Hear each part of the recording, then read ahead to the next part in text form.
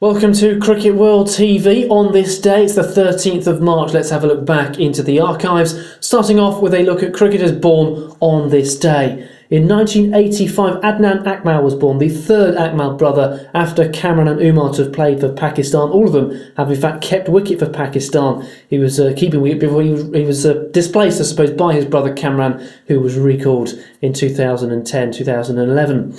Now, what about international cricketers scoring centuries on this day? In 2004, Inzamam ul Haq made 122 against India, the first one day international in Karachi. India holding on to win that one, however, by five runs. Staying with India, in 2001, VVS Laxman scored 281 in 452 deliveries against Australia in Kolkata, that epic test match where India, of course, would go on to win, having followed on by 171 runs, perhaps the greatest ever test.